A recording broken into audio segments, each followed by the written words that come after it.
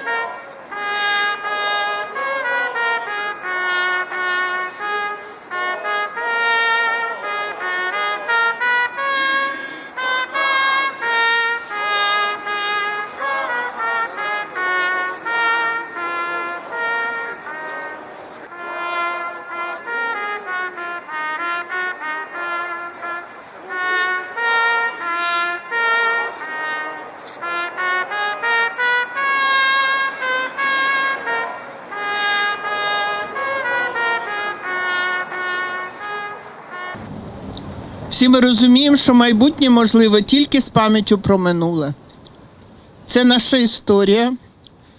Дякуючи їм першим, дякуючи героям Майдану, цивілізований світ дізнався про державу Україну, про геройський народ і героїчний народ українців. Це початок становлення України. Україна е, незалежність е, ще в 90-х отримала, але це лише було на папері, а саме становлення е, України як е, суверенної незалежної е, е, це е, 13-14 рік, це саме Майдан. Війна почалася саме на Майдані. Е, Саме Росія почала розстрілювати наших українців, і це почалося в 2014 році.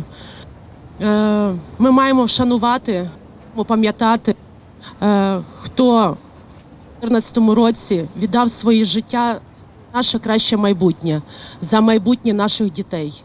Пам'ять важлива. Е, Люди, Небесна Сотня, перші загиблих, які поклали своє життя за нашу свободу.